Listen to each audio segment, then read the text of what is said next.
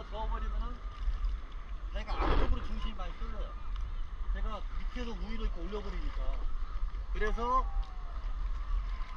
앞으로 나갈 때 속, 속도를 낼 때 저항이 생긴다는 거죠.